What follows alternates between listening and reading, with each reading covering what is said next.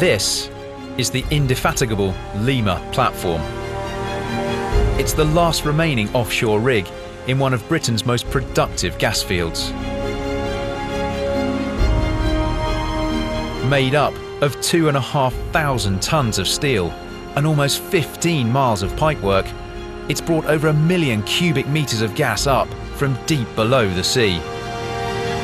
For almost 40 years, it's kept us warm, supplying gas to 5 million homes. We were the young pioneers in those days. We were the ones bringing oil and gas to the UK. It was exciting. Now, this giant is about to be demolished. It's going to be an immense engineering challenge. You just keep watching it and your heart's going thump, thump, thump. Diamond coated wires will attack two inch thick steel. It allows the machine to just keep cutting and slicing.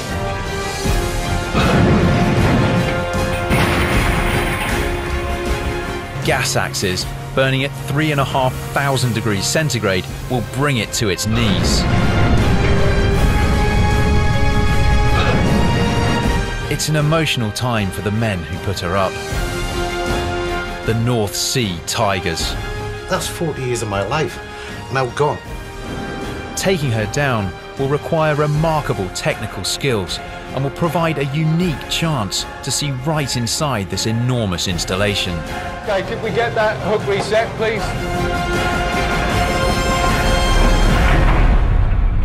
This is Engineering Giants.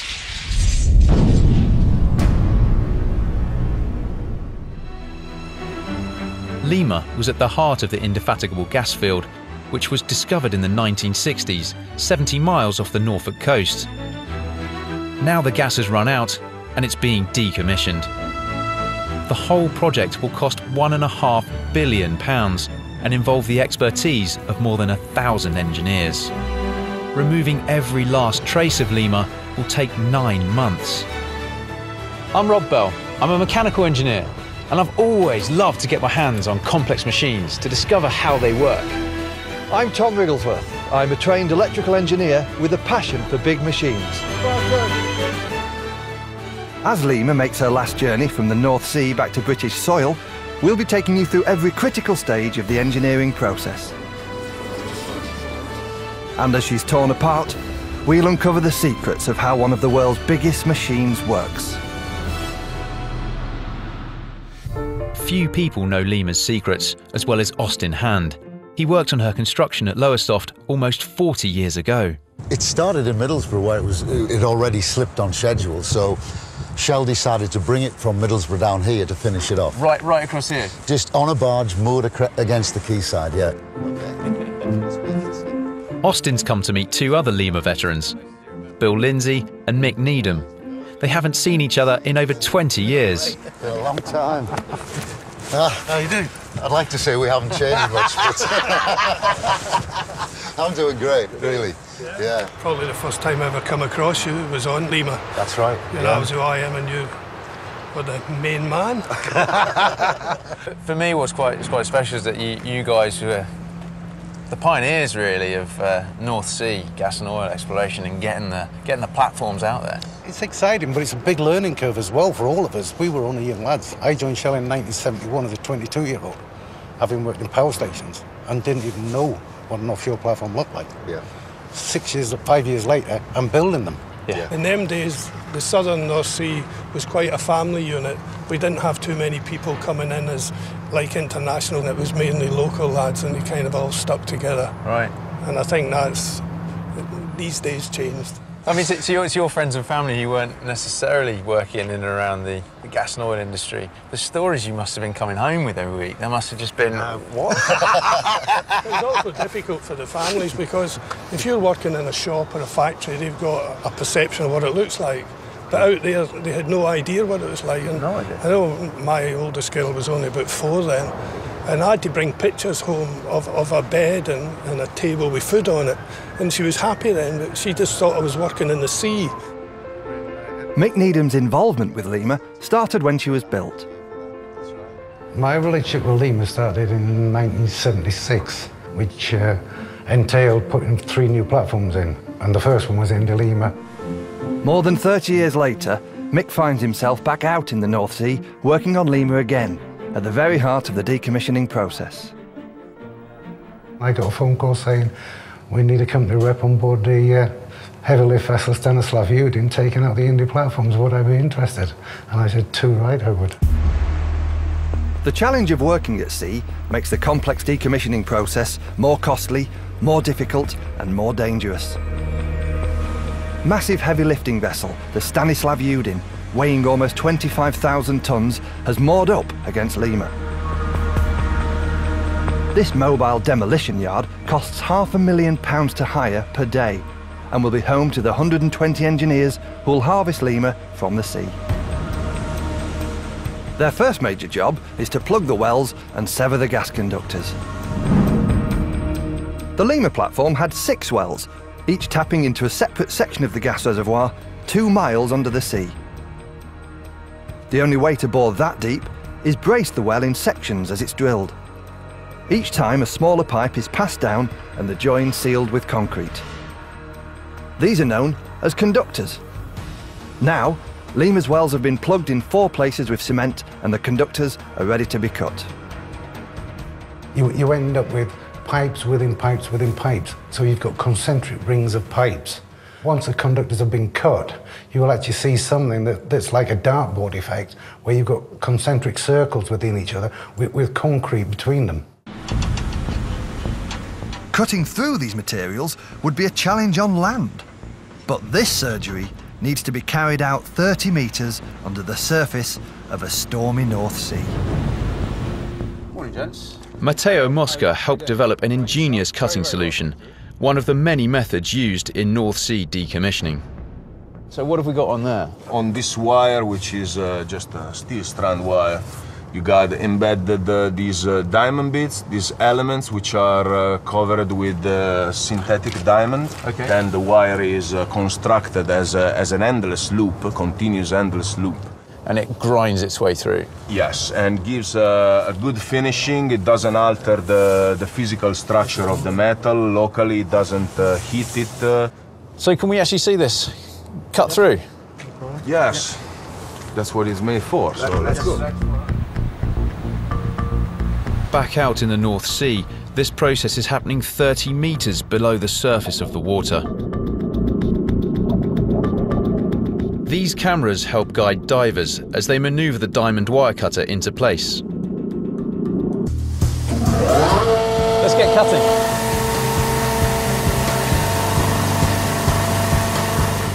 The amount of friction created by the cutter can heat up the steel so much that it begins to warp, so it has to be cooled by water. The saw working out on the Indy field has the cold North Sea to do the job. But for this demonstration here on land, cold water must be sprayed on to dissipate the heat. I mean, the thing for me, which really drives home this is quite a clever piece of kit, well, you've got thousands of tons compressing down. And this cutter allows you to cut across that without it getting jammed. A jam deep underwater would halt proceedings and cost tens of thousands of pounds to put right. Well, this, because it cuts all the way around that wire, not just forwards, but also above and beneath it. It allows the machine to just keep cutting and slicing right the way through.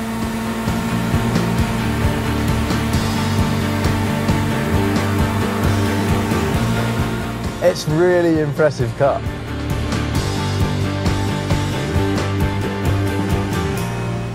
On Lima, with the wells plugged and the conductors cut, they'll be able to move on to a bigger challenge, removing the 2,500 ton platform. This scrapping represents the end of an era. The North Sea veterans who put Lima up know how tough it will be. 34 years ago, as a young man, Austin Hand helped to bring it into the world. Now, he's in charge of decommissioning on one of the North Sea's biggest projects. Is this you? That, that's me and, and my boss, Gordon Box, who was the guy who actually recruited me into Shell. I've been involved in that sense for 40 years, either design and construct. And uh, initially, my first sort of foray into the offshore business was uh, Indy Lima. That's Lima in the background. That's it, it parked in the, in the quayside in Lowestoft after we'd brought it down from Middlesbrough. So that was us beginning to get it ready to go. The platform has to withstand 15 metre high waves and winds of up to 100 miles an hour. The legs, or jacket, is all important, fixing Lima to the seabed. Removing it is going to be a mammoth task and will require as much engineering ingenuity as went into building her. So the jacket's basically a frame, and, and, and, you place it on the seabed, then you put piles in, like pinning it, and you drive the piles with a big hammer into the seabed. Yeah. That is a piling hammer. So it's about 60 feet high. Now, above, above all these exciting things to do, one of my jobs was to stand out all night with a clicker counting the number of blows of the piling hammer. You got all the good jobs. Lima's removal from the North Sea will involve taking away not just the jacket, but the piles as well. And before that happens, I want to understand exactly how she was constructed and secured out at sea. I've got to show you how it works though. Okay.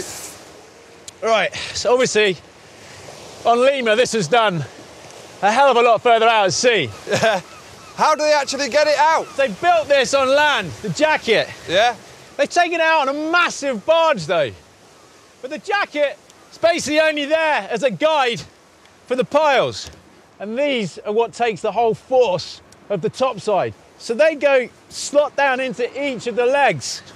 So on Lima, these piles were being driven 90 foot into the seabed. Must be a very noisy job. It is a very noisy job. That's why they do it so far out at sea, so they don't disturb anyone.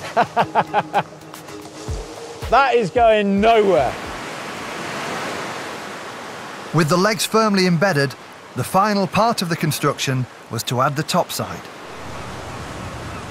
Now, 40 years on, removing that topside is about to be the biggest test so far for Lima's decommissioning team. Weighing in at 1,350 tonnes, this is the heart of the rig, where the crew lived and worked, processing the gas before piping it to shore. Cutting it off the legs will be an enormous challenge, requiring knowledge, skill, and nerves of steel. The problem is, how do you cut across the legs but still ensure the platform stays in place until craned off? If for some reason we had a storm blow up uh, and we just did a straight cut, uh, potentially the wind uh, and the weather could vibrate the top sides and start to move the top sides. And if, it, if it's just on a flat surface, it, it could start to move potentially the last thing I want to do is have to go fishing to get the top sides off the seabed. Lives could be at stake if they get it wrong. And so a simple but ingenious solution is integrated into how they sever the legs. The cuts are shaped like castle ramparts. These cuts are absolutely genius and crucial to the whole decommissioning process. Having made the cut through the jacket, the top side's resting on that what the castellations do gives the whole thing a lot more structural integrity. But when you do need it to be lifted, the crane comes in and it's taken up. Genius. The final castellated cuts are made to Lima's legs, leaving her 1,300 ton topside precariously balanced on top. The worst thing that could happen at this stage is a storm.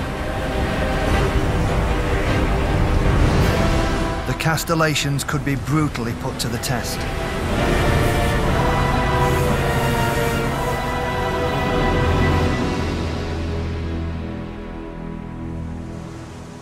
But the morning sun reveals that Lima's topside is still in place.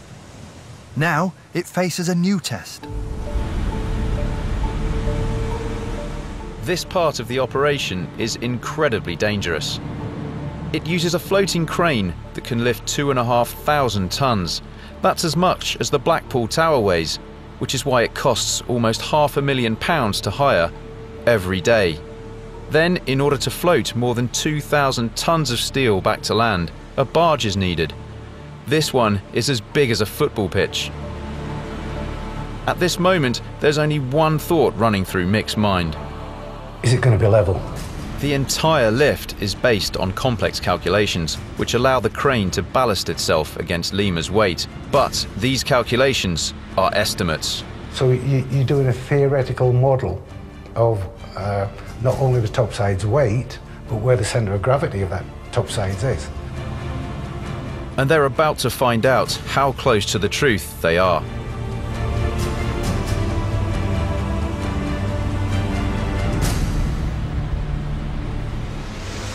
The platform is successfully lifted off its legs for the first time in 30 years.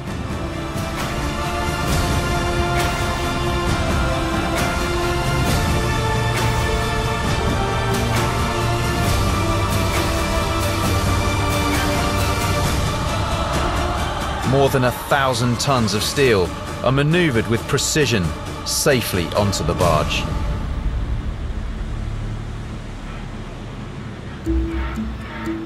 With stage one complete, the engineers will turn their attention to the legs.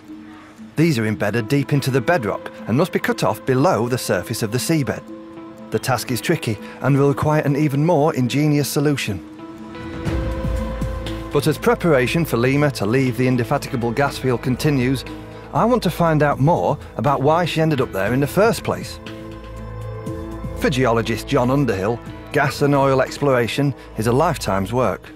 I have this strange belief that under the sea, when you go drilling for oil, there exist pools of oil, pockets of gas, large, you know, sealed off sections that we drill and tap into and then it all comes releasing out. Is that true?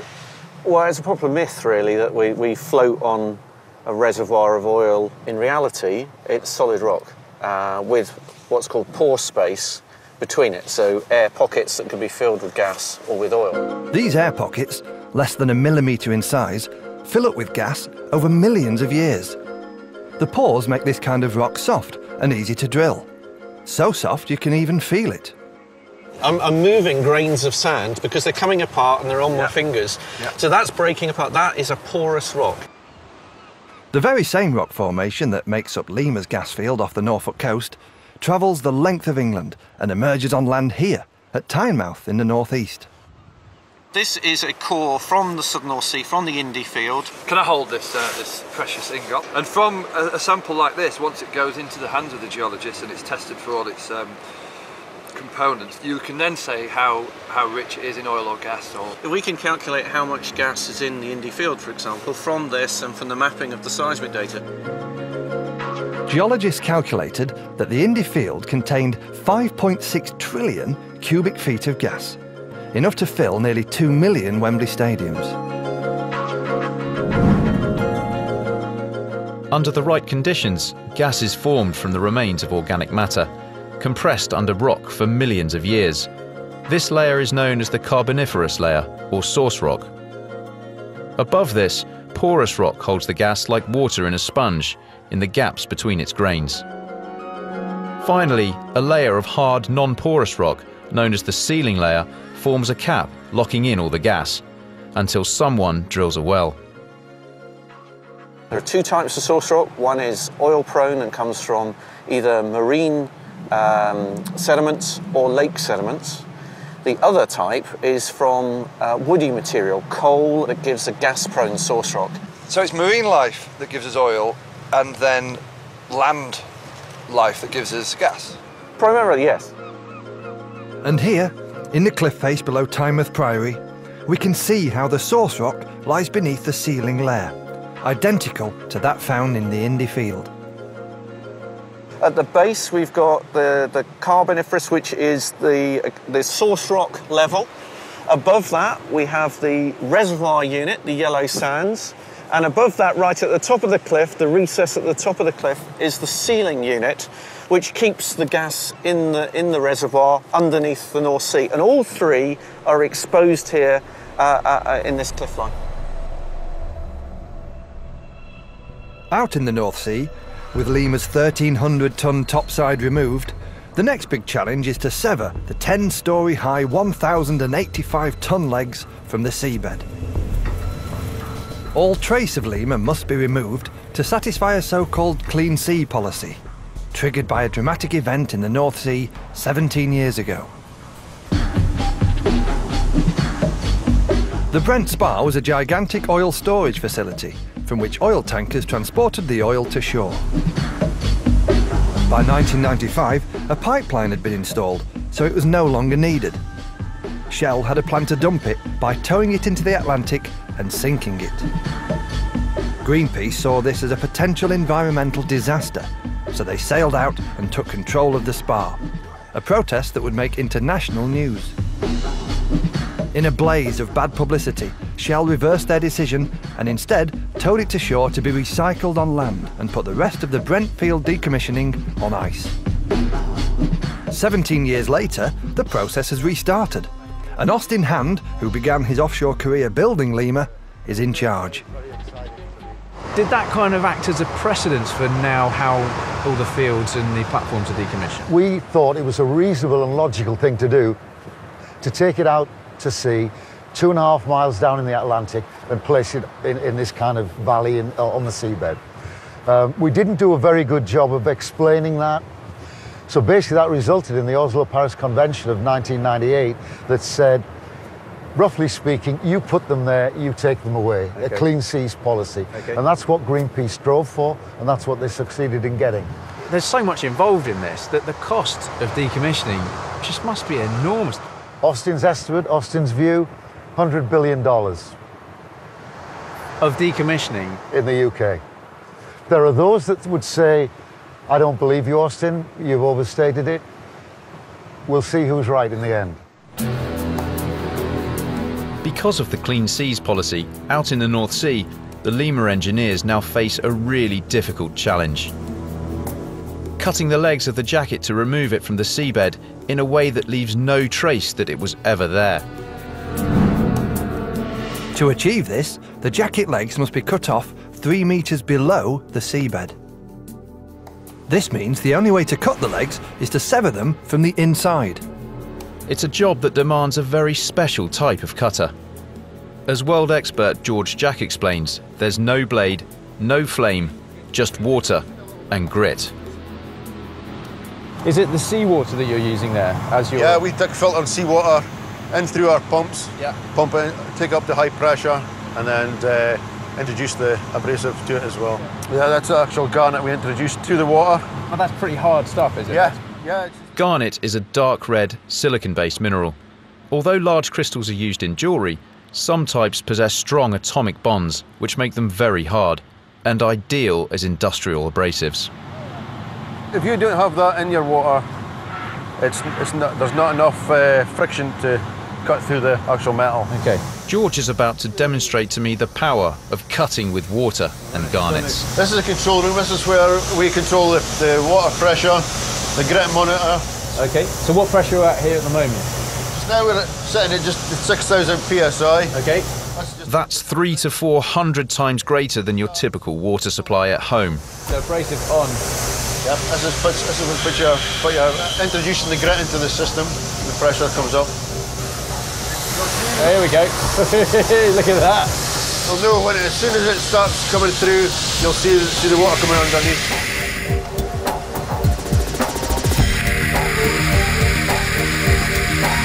Wow, now, now you can see it's just gone through.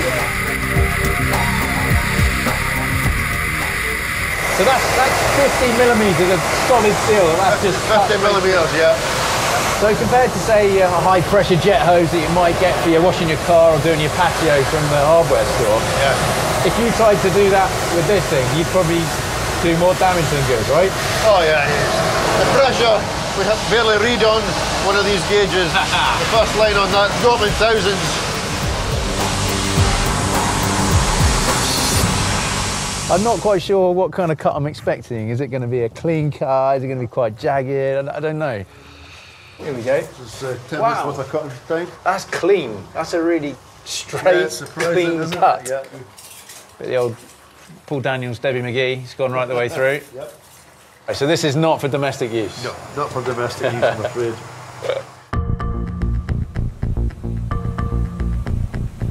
The Lima engineers are ready for the high-pressure water cutter. With the top side removed, they're able to lower it down, right inside the legs. In theory, if the severance isn't complete, the crane could pull the Stanislav Yudin over. In practice, fail-safe mechanisms would prevail, but an incomplete severance could still cost millions. We control it from the top side using our hydraulics and everything. Okay. And uh, it'll cut, do a 360 degrees subsea, just three metres below the seabed. Before they begin the cutting, every precaution must be taken. The system is pressurised to £6,000 per square inch. Any leak or breach could be deadly. An exclusion zone around the cutter is strictly enforced. Because we've got high pressure hoses running across the deck, if you put your hand up like that, you're not going to have anything left. Calculations estimate that the 360 degree cut of each leg should take 75 minutes. All Mick can do now is time it and hope.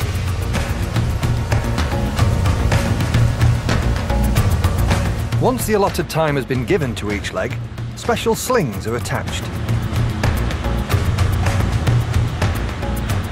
So all the slings are, they're not just something you, you get off the shelf.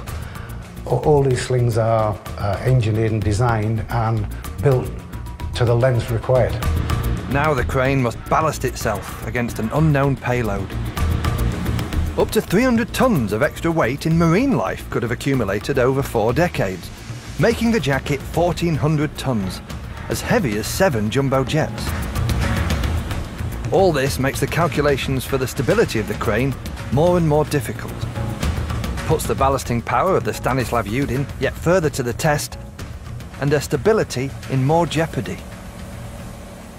And then the big tense moment for everybody. Because we are now going to start to lift the jacket, but there's one thing we can't do. We can't actually 100% guarantee they're cut by going to have a look at them. You hear the crane driver, he, starts taking the, the weight on the crane. 1,200, 1,400 tons, somewhere in that region. And if he gets to 1,400 ton and then he starts saying, I'm at 1,450 now, you're thinking, I hope this is going to move shortly. And your heart's probably going thump, thump, thump. And then all of a sudden, it just seems to go, oh.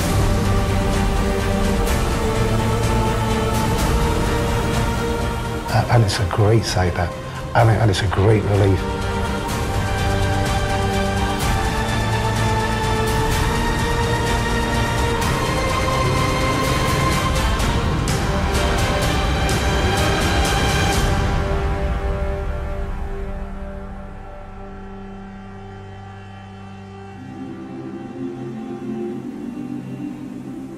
After the final lift, engineers work through the night to fasten Lima safely to the barge, upon which she'll make her final journey. And that was it. It was, it was an end of an era for not only myself, but for so many people um, that have worked on the Indy field throughout the last 40 years. In the dead of night, she leaves the Indy field behind forever and sets off on the 200 mile journey home to the northeast. Mick's relationship with Lima has finally come to an end. Indy produced for so long, um, brought lots of people work and more than that, lots of great friends and happy memories. I think that's what'll stick. I'm no joking up. Ah, dear. I can't believe that. Excuse me. But for Lima, this marks the start of the next phase of deconstruction. As dawn breaks over the horizon, Lima arrives at the mouth of the River Tyne. From here, she'll be taken to the famous Swan Hunter shipyard for demolition. It's amazing to think something like Lima, how important that was to us. We just don't really consider that at all, really. It's delivering all that gas to our homes, keeping us warm, cooking our food. Well, the Indy field actually produced enough gas in its lifetime to power the UK for a year and a half. Just in one gas field? Yeah. At the Swan Hunter shipyard, they must wait for the tide to be just the right height so the barge is level with the quay. Only then can the painstaking process of sliding over 2,000 tons of steel off the barge onto land begin. You don't see one of them come over every day, do you? Four remotely controlled bogies with a total of 56 axles, each capable of supporting 36 tons of weight. Fantastic. Maneuver Lima into her final resting place. Now, the next chapter in her story is about to begin. Ivan Rain is Geordie born and bred, and is another person whose relationship with Lima and her sister platforms goes back to their construction in the 1970s. But you didn't have to wear all this kind of stuff back in the 70s, did you? Yeah, we did, but once you got offshore, if you ever mentioned the word safety, you're on the next helicopter home again. He too has come a complete circle. He's now here to oversee the demolition and recycling of Lima. All these pipes and valves and kind of meats, everything we can see around, it's all dedicated to getting that gas up Well- out of here. The main function of this platform is to gather gas from the seabed, and the gas will be brought up through six pipes, brought into this system here, Okay. and then redirected to another complex where it is collected, and then it's sent to the UK mainland for refining, and then it gets redistributed throughout the UK, and it comes into your house, and that's what you use for cooking your roast beef on a Sunday. For Veolia's recycling team in charge of the demolition, this is no ordinary takedown job. So this has been out in the North Sea for 40 years. Where do you start in taking it all apart and recycling it? The heli deck will be cut off and pulled over, and then they'll start dismantling it section by section. Once that's flattened, they'll start cutting it up into very manageable pieces. And the smaller the pieces, the better the value they get for recycling, for transport off the site. All right, so now we're, we're talking money. Typically, you know, what, what are we looking at for recycling this whole platform? Could be looking anything from 180 to 200,000 pounds. Wow. Scrap value.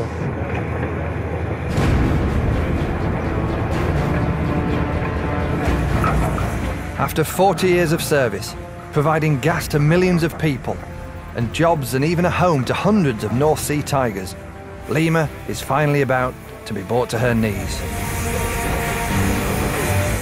First, her infrastructure is weakened by strategic cuts. Next, it's time for the excavators to really get to work. Steel wires are attached to the helideck, and the machines go into reverse.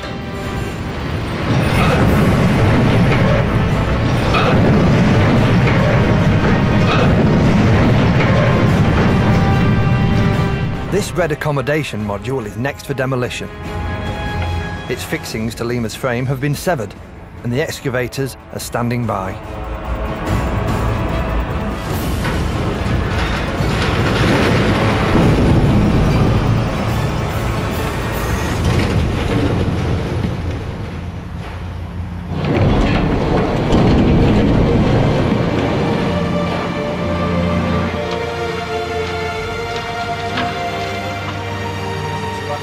Cubitt spent four years living and working on Lima as an electrical engineer.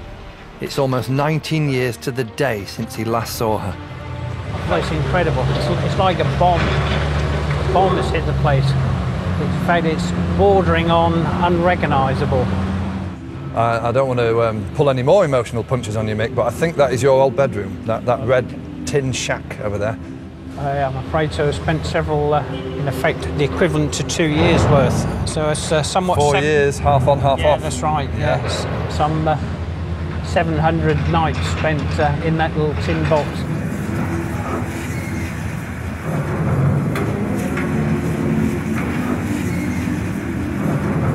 So we've had to walk into your accommodation block, Mick. This is uh, home sweet home. Home sweet home looks fairly devastating to me. It's been uh, really had the insides ripped out of it now. So this was the living area then, Mick, was it? This is where you'd pass the time. Well, prior to um, the introduction of satellite television, we used to show films that were hired in by the company. At your own little blockbuster. Yeah. So Mick, this must have been pretty cramped. How many people lived in here? this was accommodation for eight people, two, two lots of bunks. Um, the shower for all four was in here. That's the shower tray with a wash basin placed just here. Um, shower, wash basin. And that was it. That was your emergency exit. So, Mick, it's the middle of the night. You're asleep in your comfortable abode, and there's an emergency alarm. The worst case scenario. What, what, what's the order of service? Three offs. The three offs being block off, where you would block in all the wells, stop the gas coming onto the platform.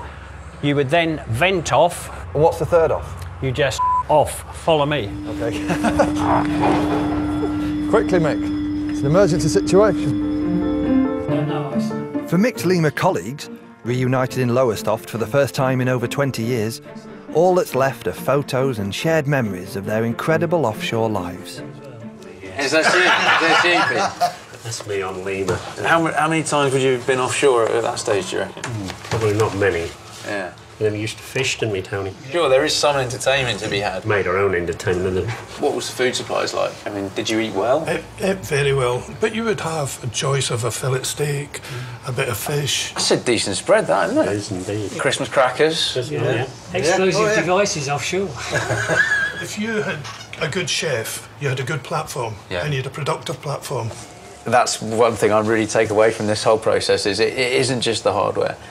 It isn't just all the steel and everything there. It's family. It's the family of all the people who've built it, worked on it. How does it feel now that that, that, that particular field and, and Lima platform's not there anymore? Is it? Does it kind of sit with you? Does it rest with you? Or When you finish, you think, you know, that's 40 years of my life. yeah. You know, now, now gone. You just realise how old you're bloody getting.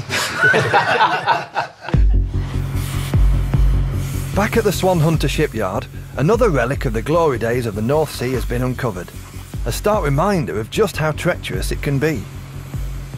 So this looks like a horror story, Mick, but I believe it was just the heli deck when they removed it. It smashed into the front there. But this is your survival raft, isn't it? Yes, this was the uh, Brucker capsule, as it was known on the platform. Um, awful thing to steer, being circular, and an awful thing to ride in. Were you the captain? I you? have been uh, done the coxswain's training Oh, on here, and I've been to sea with guys who are happily throwing up.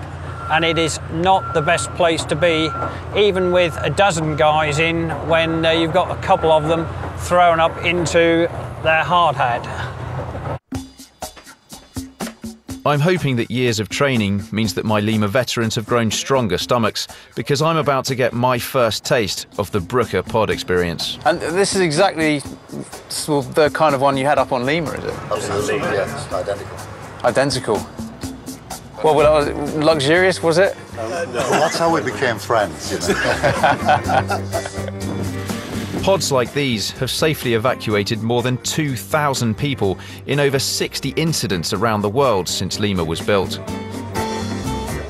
how long since you guys have been in one of these then? For me, it would have been 1978 in this particular type. I've been given the job of releasing the capsule, and it's fair to say that the speed of the response takes me by surprise.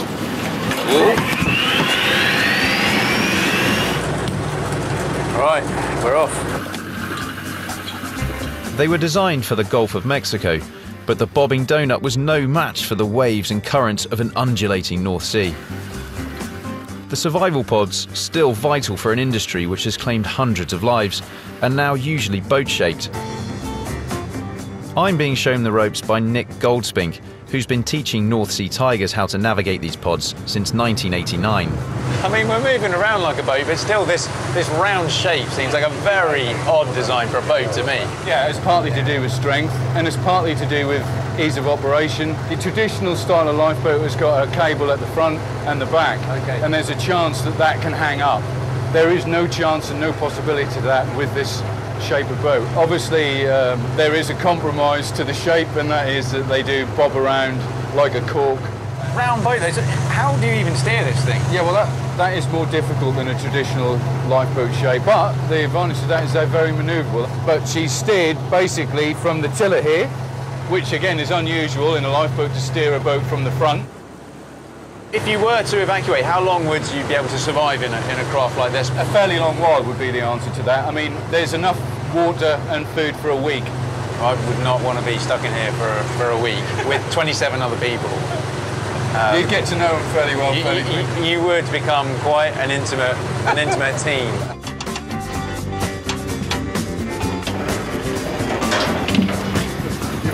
So how was that, gents? Bring back a few uh, few memories. Yep. I have to say, 20 years on, I never thought I'd be back in one of them.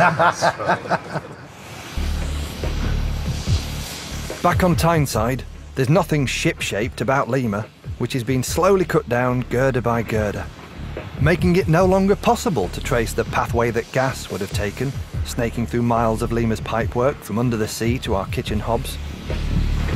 So to solve the mystery of how she worked, I'm going to see an offshore platform in action and trace the fossil fuel route. A little bit anxious. Never been on a helicopter before. Thanks to gas and oil, Aberdeen Heliport is Europe's busiest, ferrying almost half a million passengers offshore every year. Across the North Sea, more than 100 lives have been lost since air transfers began, which is why every possible safety technique is used. I'm terrified. Absolutely terrified. In the event of the helicopter ditching, this suit will increase my survival time in the freezing North Sea from just minutes to about seven hours. But I hope I don't have to put it to the test. After an hour of seeing nothing but sea, a platform comes into view.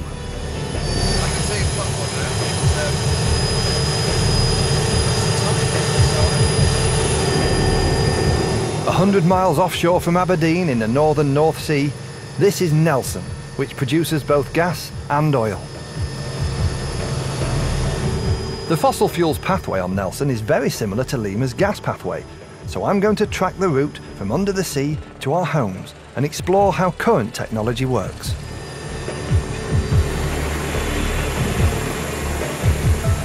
While Lima had six wells, Nelson has drilled 28. Nelson's manager, Nick McLeod, is going to show me the drill floor. Okay. Wow. Pretty impressive drills there. Our wells here could go down as far as 20,000 feet. 20,000 feet. Yeah. And eventually we get down to what's called the pay zone, which is the Pay zone? area, the pay zone. That's where the money is. Yeah, yeah. That's where the oil and gas is. Okay. What happens then? It calls spurts up, doesn't it? Everyone, and everyone cheers. Uh-huh. In the old days, hopefully not these days. The first crucial stage for the fuel that emerges is the well bay. Everything's moving about and juddering. Really noisy.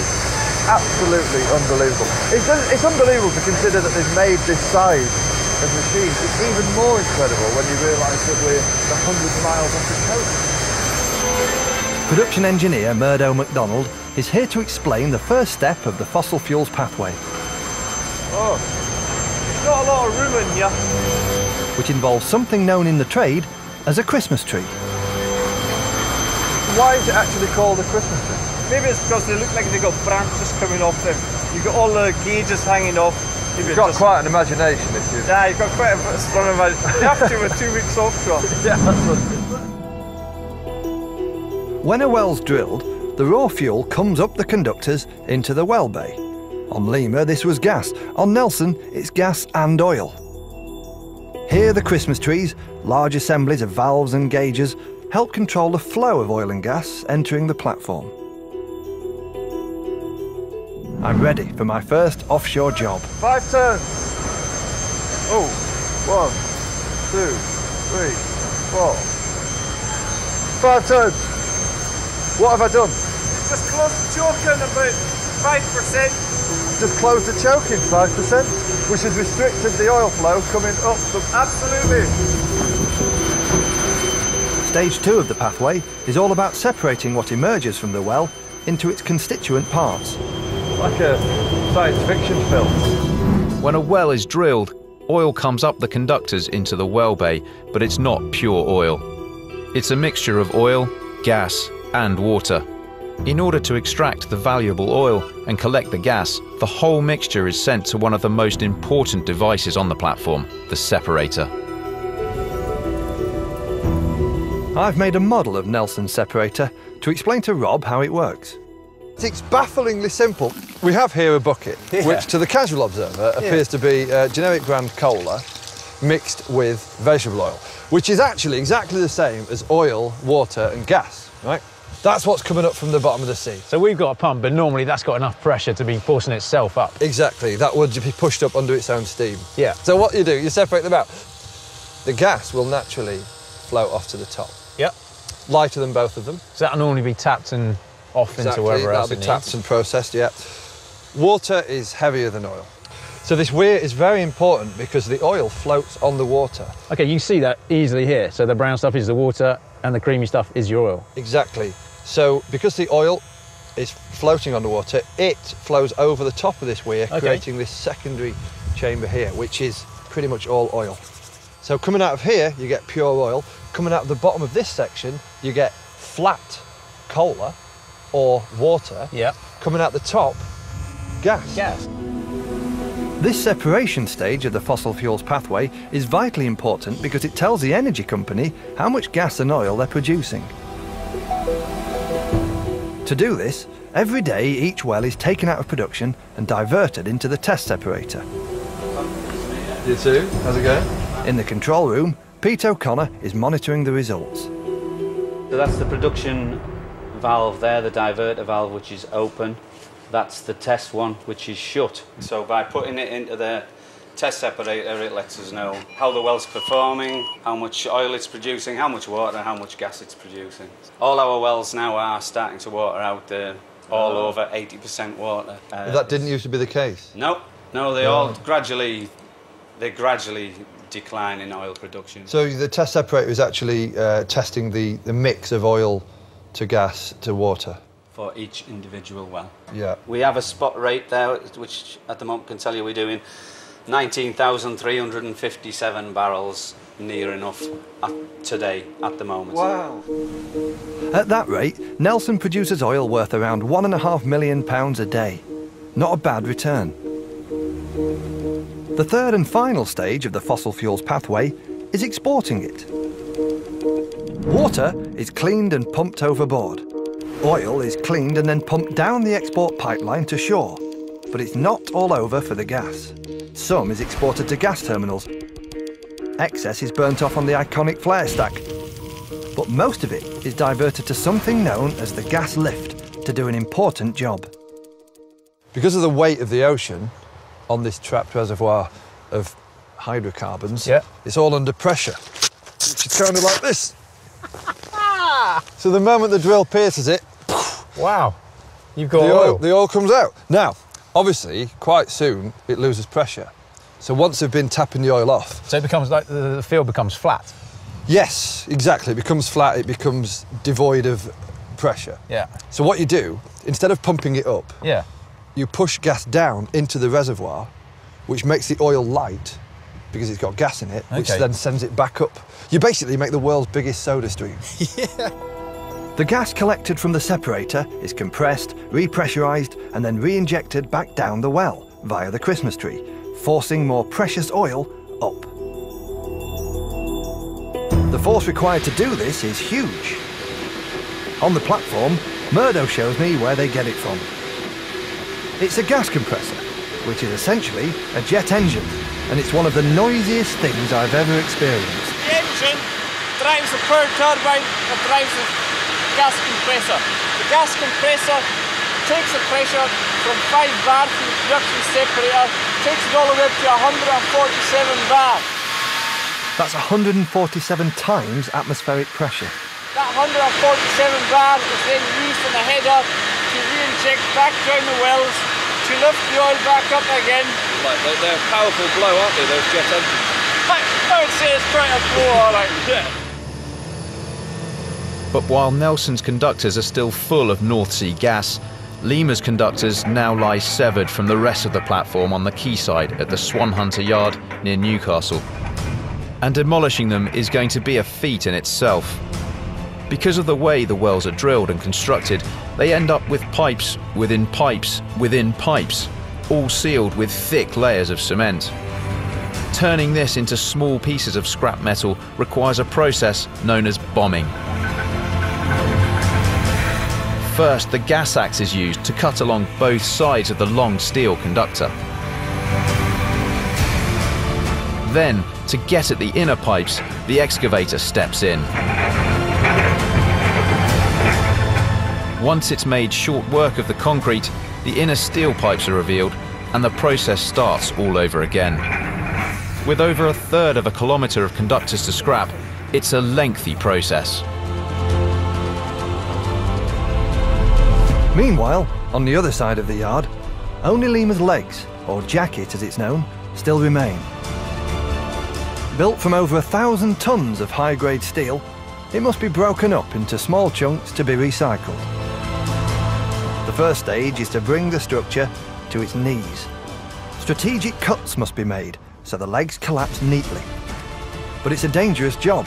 As soon as a cut is made, the platform is weakened and may fall at any time. So are you guys responsible for felling the legs? Yes, we are, yeah, yeah. I wouldn't like to be the, uh, the guy who does the final cut. Who's in charge of that? Whoever wants to do it. The backside gets a bit twitchy when they're uh, cutting the final. Well doing the final cut, I mean, yes. I, I think if it was me, I'd, at the moment the axe is finished, I'd be turning and running. Do you actually... no, there's, there's no need to run.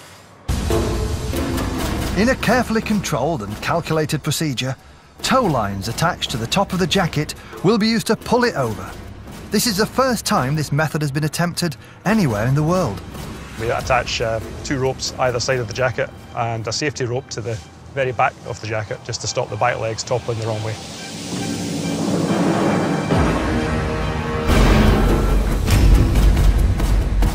The engineers have put down a bed of earth for the legs to collapse onto to cushion the impact. Got two lines, haven't they? Um, Yeah, two pulling lines. These guys will take the tension up on the wear. Just give it a little tug. It's quite exciting, just the anticipation of it before it's going to come down. Everything clear? Clear. Don't let anything in now because we're about ready. All clear, Mick. If the 30 metre high back legs were to fall in the wrong direction, they could land on a factory behind the shipyard. Still excited to see these come down? I love it. Brilliant.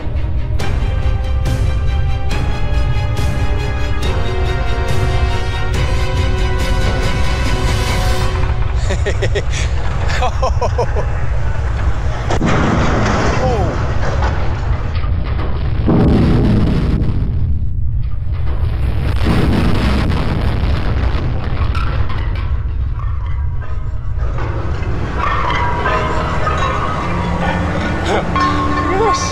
done. Brilliant. That was awesome. Congratulations. And that's the way to do it.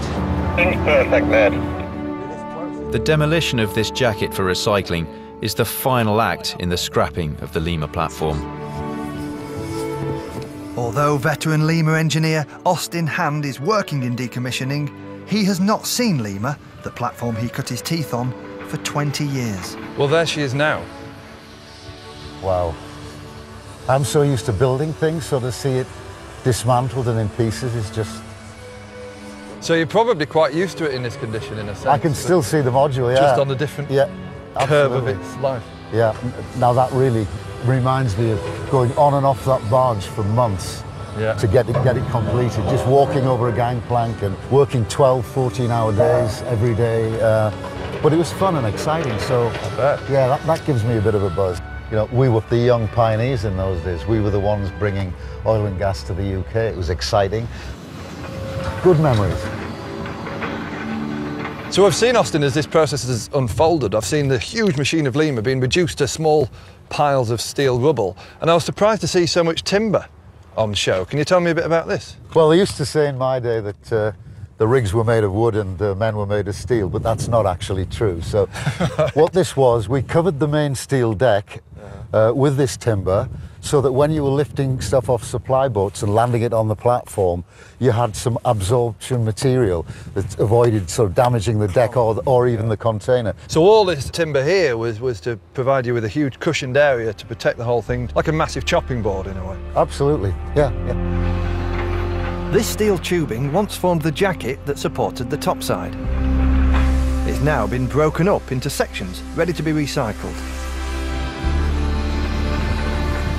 But to the expert eye, even these fragments reveal the challenges of these early pioneering designs. In the 70s, sometimes the quality wasn't great. So this is a good example here. Yep. Now this is a very tough angle for a welder to get in at these Yeah, points. You get right down in there. Exactly. So, you know, in an ideal world, that brace would have been at a less of an angle. But very often the designers just wanted it to be structurally robust. Okay. And then when it arrived for us to deal with it in the construction yard, you think, wow, why did they do that? Yes. And so on, on paper, mathematically, it makes perfect sense. Exactly, but sometimes it wasn't constructible. Um, but again, this was a learning process that we would feed that back in to the next jacket and say, can we do this slightly differently? And, and, and that's how we evolved the industry, getting better and better uh, and making it easier to be sure these wells would sound and solid. All these things had to be considered, even with a relatively simple structure like a jacket. For the final time, the excavators pull on Lima's infrastructure to bring down her last story. Oh, the leg's gonna go. There she goes.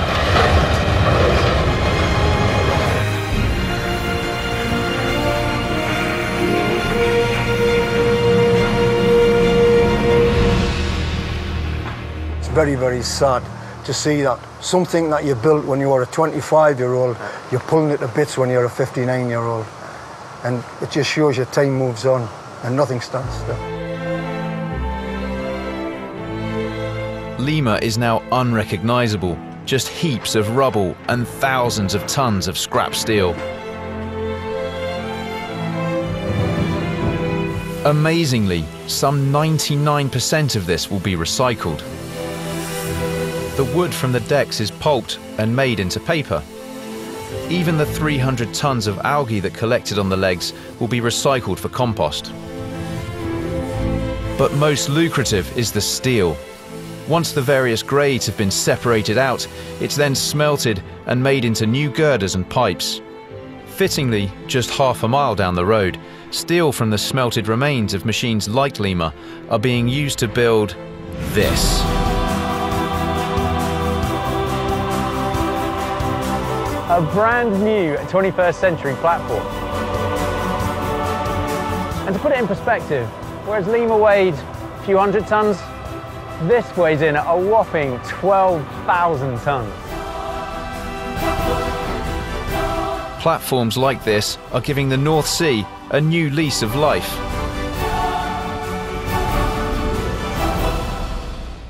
But Lima and its gas field are now just a memory. Removing it cost more than 200 million pounds, took two years and over a million staff hours to recycle 2,000 tons of steel, 311 tons of algae, find homes for two generators and scrap two toilets and 12 well-worn bunks. And ironically, some of the North Sea Tigers, who pioneered offshore platform installation, are now involved in the biggest new North Sea industry, taking them back down again.